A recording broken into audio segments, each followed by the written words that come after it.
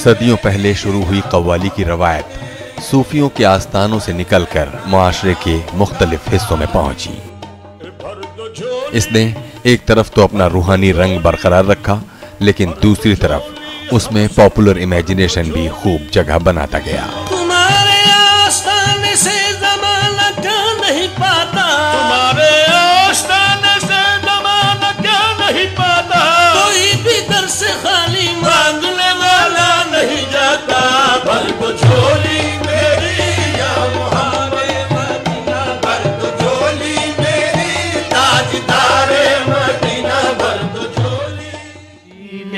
शराबे इश्क नबी मरता हो तो जीना आ जाए।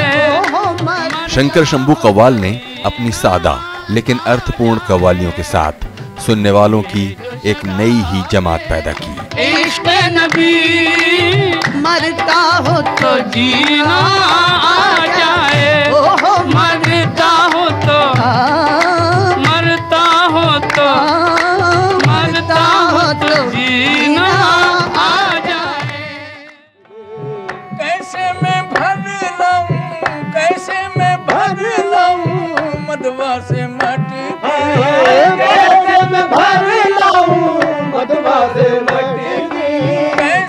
उधर, अलीगढ़ के एक साइन बोर्ड पेंटर ने हबीब पेंटर कव्वाल और पार्टी के नाम से सातवें, आठवें दशक में अमीर खुसरो की देन कव्वाली की संरचना के भीतर ही कबीर, रैदास और दूसरे भक्त और लोक कवियों की रचनाओं के साथ मानवता के पक्ष में गोलबंदी शुरू की।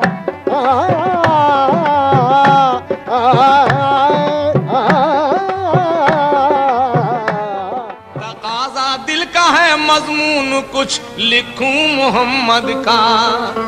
कव्वाली के लचीले सांगीतिक ढांचे ने इसकी लोकप्रियता में दिन दूनी रात चौगनी बढ़त की। देश भर में कव्वालों के छोटे बड़े दल उभरने लगे और उस दौर की म्यूज़िक कंपनियों ने श्रोताओं के मिजाज भापने में देर न लगाई। मुशद्दद लाम है मुशद्दद लाम है या काकुले शबगु मोहम्मद का। मुशद्दद लाम है या काकुले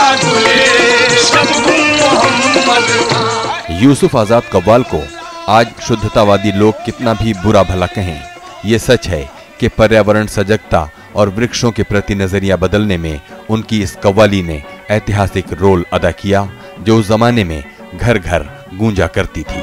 जगत में कोख से जब माँ की तूने जन्म लिया तो सबसे कब्ल इसी लकड़ी ने तेरा साथ दिया। जईफ दाई ने संसार के हयूले में सुला दिया तुझे लकड़ी के कुछ झूले में छूटा जो झूला तो लकड़ी की चार पाई मिली।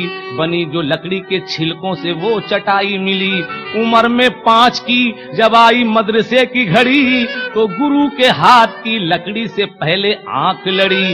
चाँद को छूने वाले इंसान देख तमाशा लकड़ी का। अपनी खातिर खुद ही बनाया गिल्ली डंडा लकड़ी का। चाँद को छूने वाले इंसान देख तमाशा लकड़ी का।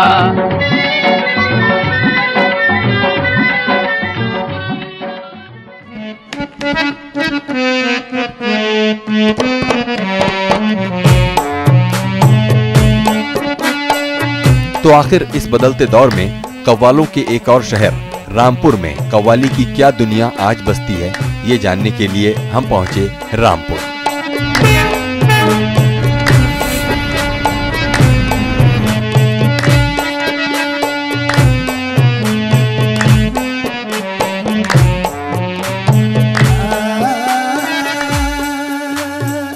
रामपुर रेलवे स्टेशन पर अभी हम उतरे ही थे कि वहाँ एक बैटरी रिक्शा चालक से हमारी मुलाकात हुई।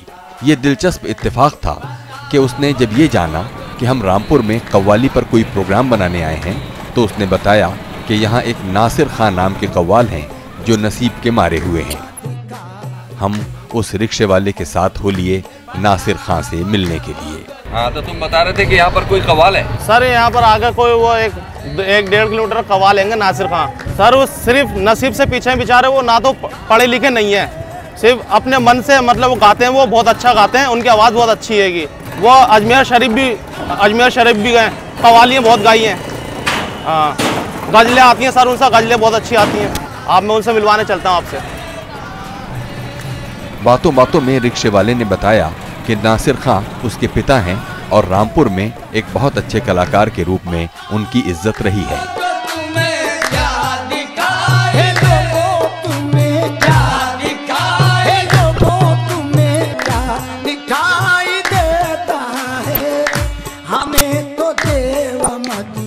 रामपुर में कवाली की तलाश करते करते हमारी मुलाकात नासिर खान से हुई, जो कि ख़ुद पेशे से ड्राइवर हैं, लेकिन गाना बजाना उनका बहुत शौक़ है। और ख़ुद यहाँ रामपुर में कई ऐसी महफ़िलें जमती हैं, जहाँ वो अपने गाने से और अपनी मज़ाहिया अंदाज से लोगों का मनोरंजन करते हैं। सुनेंगे अभी नासिर खान से उनके कुछ गाने।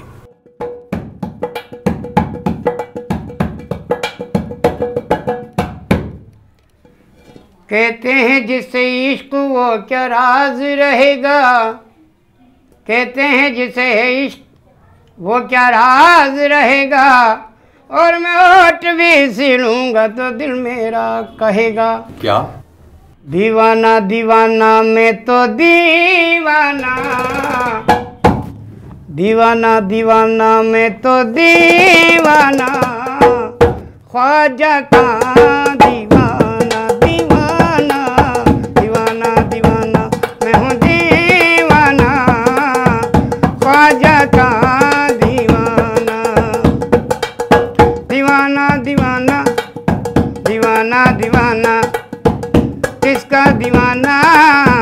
ख्वाजा का दीवाना। क्यों पागल पागल कहते हो? किसी यार को मैं दीवाना? पागल पागल कहते हो? किसी यार को मैं दीवाना? तुम भी ना पागल हो जाना, पर देख रुए जाना ना। दीवाना दीवाना।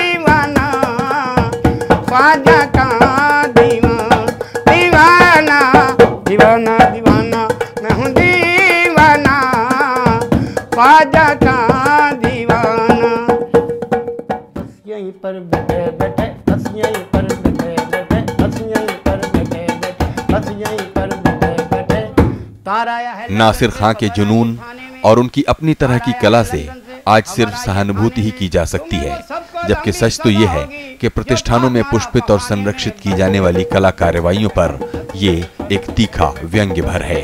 बाजा तुम्हारी उल्फत से हटा लो बाल्टी अपनी, न जमकर बैठे इतने, न खटिया टूटी अपनी। बस यहीं यहीं यहीं कुछ रूस को गई थी, कुछ चीन ले गया। कुछ रूस को गई थी, कुछ चीन ले गया। बाकी जो भी कुछ बचा था, वो रामपुर का ना ही ले गया। बस यहीं पर बैठे बैठे, बस यहीं पर बैठे बैठे। धोती बोली पैजामे से हम तुम बने एक धागे से। धोती बोली पैजामे से हम तुम बने एक धागे से। पर फ़र्क यही इतना है, तू खुलती आगे से, मैं खुलता हूँ पीछे से। बस यहीं पर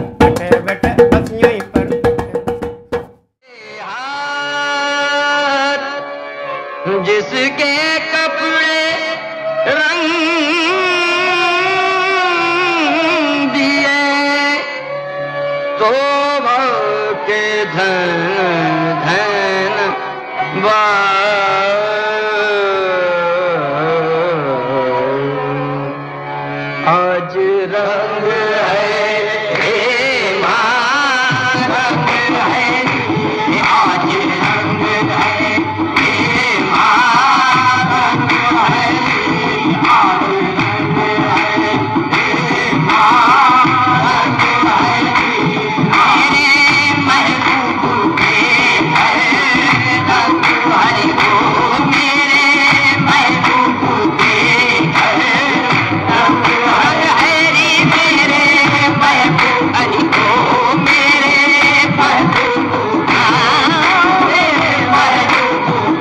नासिर खां से थोड़ी अलग कहानी है जमील अहमद की।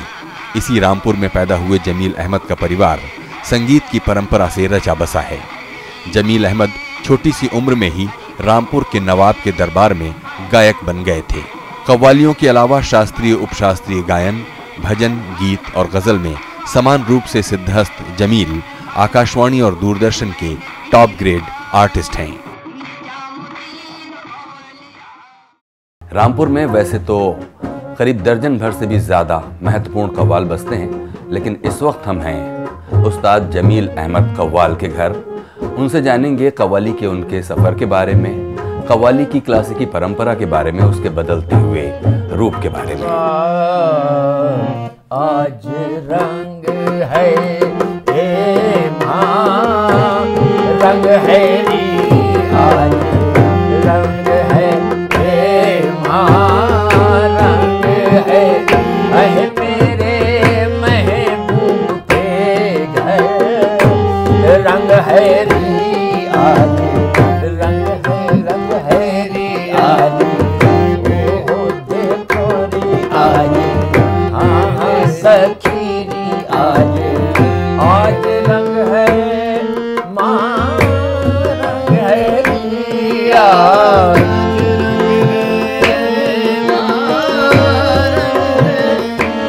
का सिलसिला हज़रत अली करम वज़ू के बाद से आपके इल्म में होगा। तो ये जो सूफियों ने किया तो इसको कौल रखा गया। तो हज़रत अली करम वज़ू का कौल पहले रखा गया। उसके बाद कलबाना और नक्शगुल, तराना वगैरह किसी के पास है नहीं। वो उल्टा सीधा गाने, वो अलहदा बात है। लेकिन मैं एक आपको कलबाना पेश कर रहा हूँ, जो डफ पे भी गा सकते हैं और ये ये जो मैंने गाया, ये भी डफ पे गाया जाता है।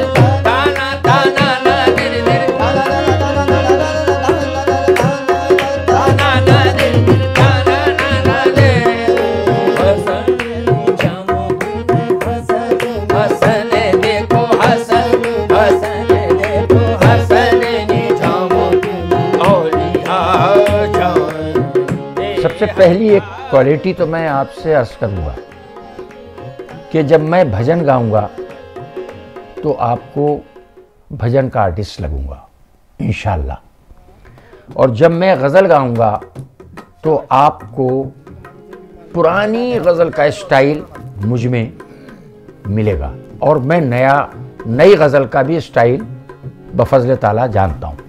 अब आप मुझसे अगर भजन सुने तो मैं आपको भजन सुनाऊँगा। दयाल थे।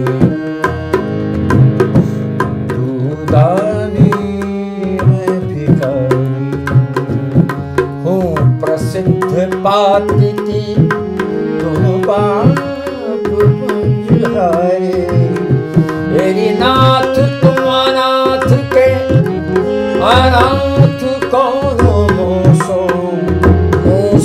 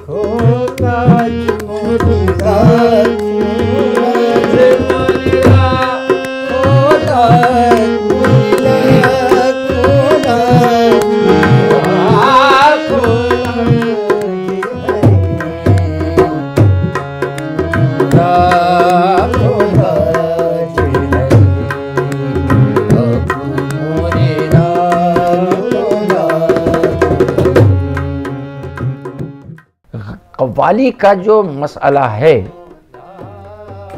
क्योंकि जिस वक्त सूफिया इकराम के सामने कव्वाली, कव्वाल गाता है तो उसमें क्या होता है कि सूफी के जज्बात, सूफी की आँखें, सूफी का चेहरा देख करके उसमें जोश पैदा होता है। और कव्वाली को ऐसा लेके चलता है हाई पिच पे, उस पर कि वो उसका रिपीटेशन बढ़ता चला जाता है, लय बढ़ती चली जाती है, और अगर वो रक्स करता है, अगर वो रक्स करता है तो उसके साथ ये ठेका, तबला या ढोलक, उसके साथ बढ़ती चली जाती है, तालियों की गूंज बढ़ती चली जाती है रिपीटेशन बढ़ता चला जाता है, तकरार बढ़ती चली जाती है, कव्वाल को पसीने आना शुरू हो जाते हैं। इसी सूरत से उसको ले जाके बहुत दूर पे छोड़ता है। अगर वो कव्वाल समझदार है तो वहाँ नहीं छोड़ेगा। उसको एक एक सीढ़ी करके नीचे लाएगा और बहुत आहिस्ता और ढोलक को, तबले को लाएगा, उसकी लय को हौले हौले लाएगा, वैसी उसके सूफी के कदम कम होते जाएँगे।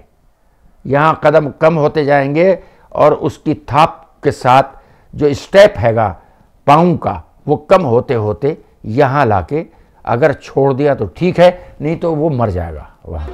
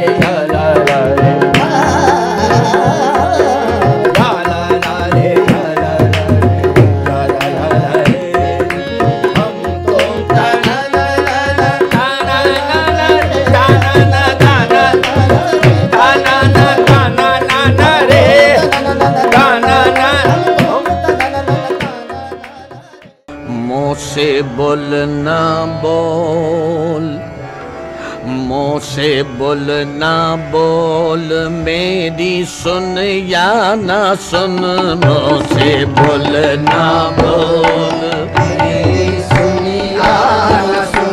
मुँह से बोलना बोल मेरी सुन या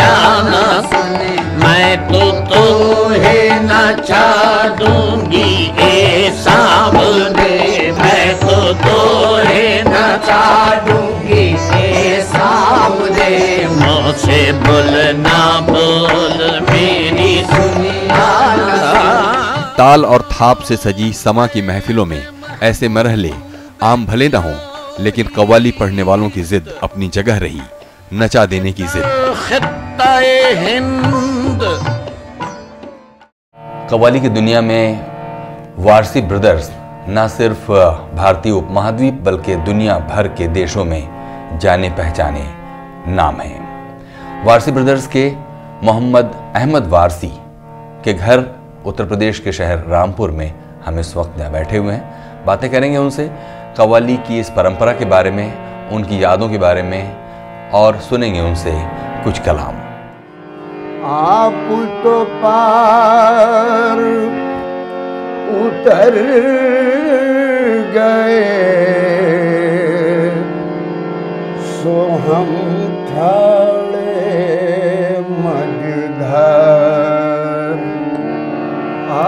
आजा आजा मोरे नैनों में साजना।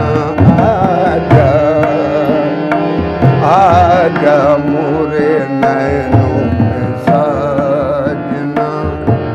मैं तो तन मन डारूंगी बार तो तन बार पिया आजा आजा मोरे नैनों साजना। मोहम्मद अहमद वारसी और मोहम्मद खालिद कव्वाल और पार्टी के मोहम्मद अहमद वारसी रामपुर की सरजमी से वाबस्ता हैं। कई बैरूनी ममालिक में अपने फन का मुजाहरा कर चुके मोहम्मद अहमद वारसी से हमने कव्वाली के दौरान हुए उनके तजर्बे भी जानने चाहिए। लाल कलियर जब अली अहमद साबिर पिया पिया अली पिया जा आजा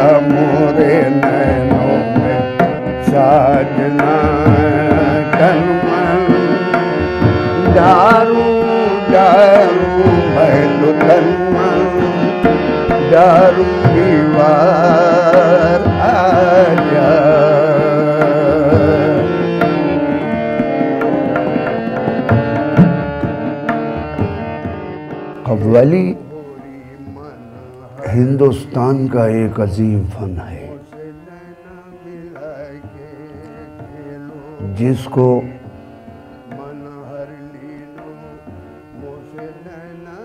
बड़े बड़े अल्लाह ने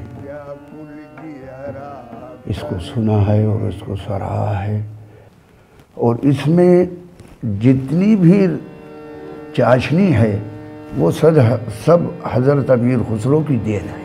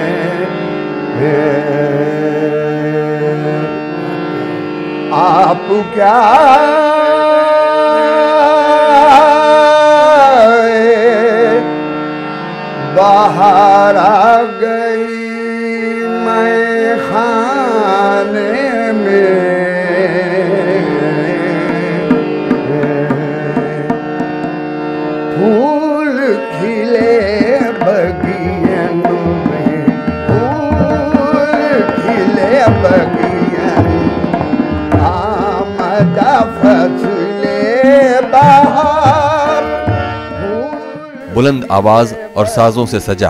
कव्वाली का पहले धीमे और आहिस्ता आहिस्ता तेज और तेज होता प्रभाव और उसमें भी बारंबारता की ध्वनियाँ। ये सब कव्वाली के माहौल को जादुई और सरगर्म बना देती है।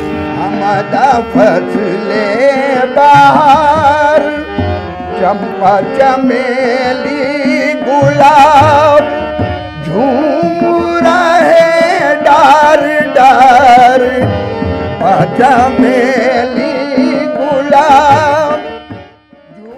कव्वाली में साज मिलता है एक सुर से। अब जैसे ये दूसरा काला है तो पाँचवें काले की पंचम पे तबला मिला है। बाजे की आवाज़, तबले का सुर सुर से सुर जब मिलता है, फिर आठ आदमियों की आवाज़ जब मिलके पढ़, पढ़ा जाता है। अरे फूल रही सरसों सकल बने फूल रही। सो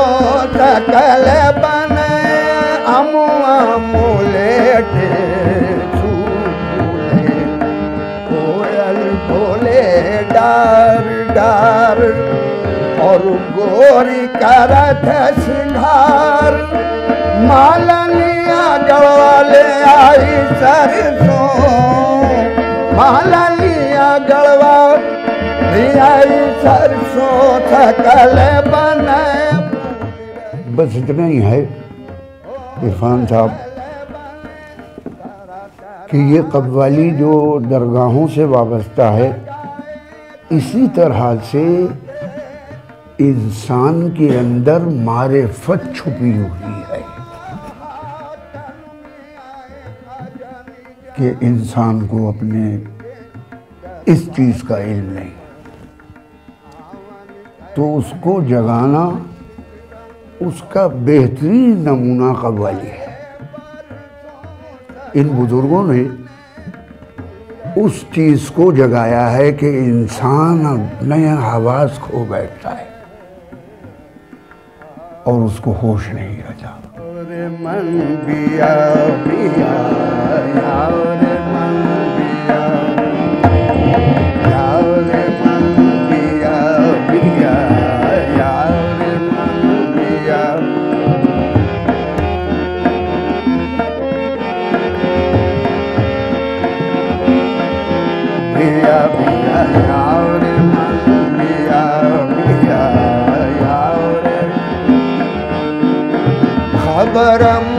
रसीद मुझब के लिगार खाइया मद खबरम रसीद मुझब खाइया मद सर मन फिदायरा है के सवार खाई